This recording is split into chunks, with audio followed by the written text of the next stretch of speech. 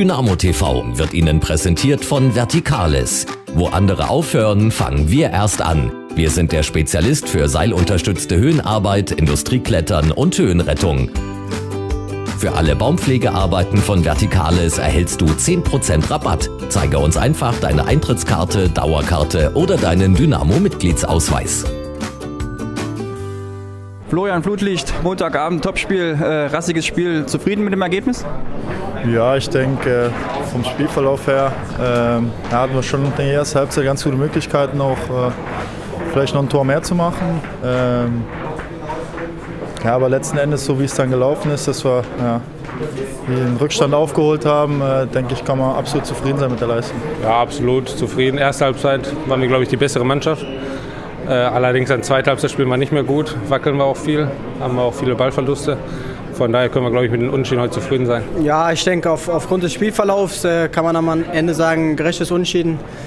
Ähm, wir haben erste, erste Halbzeit einen super Fußball gezeigt, äh, haben dann, sind dann schon zurückgekommen in der ersten Halbzeit. Ähm, zweite Halbzeit hat es Pauli ganz gut gemacht, äh, kommen am Ende dann wieder zurück. Ähm, ich denke, gerecht. Ja. Ich glaube, wir haben eine sehr, sehr gute erste Halbzeit gespielt, haben den Gegner dominiert, viel laufen lassen, waren gut im, im letzten Drittel, auch gefährlich, haben dann einzeln zurückgelegen und aber uns überhaupt nicht abbringen lassen von unserem Spiel und dann verdient auch den Ausgleich erzielt.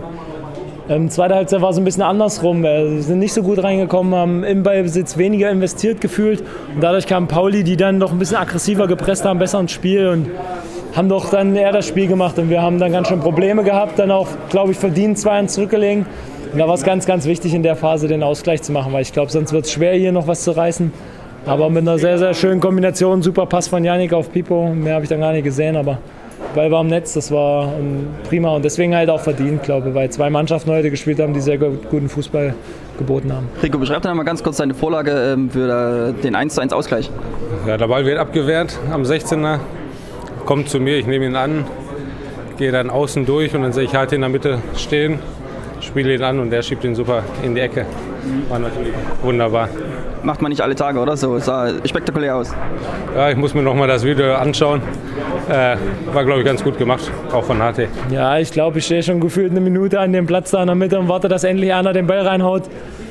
Und bleibe so ein bisschen im Rückraum und Rico dribbelt über außen. Und ich weiß nicht, ob der mich gesehen hat, muss ich gleich erstmal nochmal fragen. Spielt überragend über Standbein zwischen den Leuten. Ich stehe da am 5-Meter-Eck und brauche eigentlich nur reinschieben. Und du scheinst äh, das Stürmergehen in dir zu tragen, hast du heute bewiesen. Mit deinem Torricher beim 2 zu 2 standst du goldrichtig.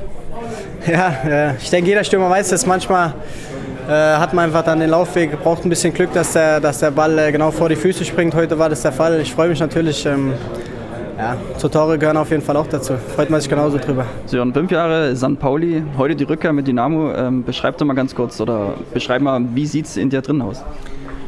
Ja, ich hätte natürlich gerne gewonnen, ne? das kann ich nie, das kann ich nie äh, verheimlichen, aber ich glaube, dass es ein sehr schöner Moment für mich war, ganz, ganz besonders. Ich habe die Atmosphäre genossen, bin mit Gänsehaut eingelaufen.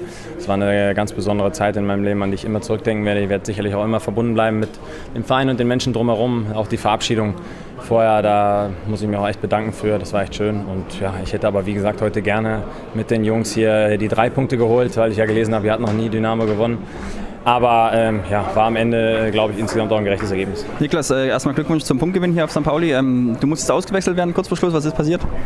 Ja, die waren am zugemacht. Also ich glaube, unsere Physios wissen Bescheid, dass meine Waden da nicht die stabilsten sind. Ich glaube, heute war es ja, ein bisschen tiefer Platz. Äh, hatten die erste Halbzeit viel zu tun, viel äh, nach vorne mitmarschiert. Äh, hinten hatten wir auch zu tun und das hat sich dann äh, ja, in der 80. Minute nach dem Ausrutscher ja, spürbar, bemerkbar gemacht und ja, da ging nichts mehr. Musste leider ersetzt werden, aber ich bin äh, stolz auf die Mannschaft, dass sie das so über die Runde gebracht hat. Ihr seid, äh, habt euch warm gemacht mit speziellen Shirts heute. Kannst du kurz was zu der Aktion sagen, wie das gekommen ist?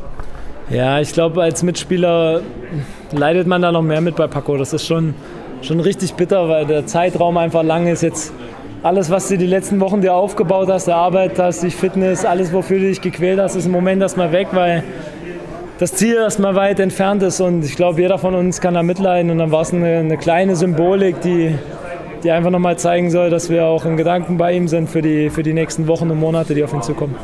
Du bist auch ausgewechselt worden, äh, angeschlagen, verletzt oder was ist da passiert genau, weißt du schon? Ja, ich habe Krämpfe bekommen. Ich bin viel gelaufen und ich glaube zu viel für das, was mein Körper bislang noch hergibt, weil ich ja doch ein paar Wochen verpasst habe.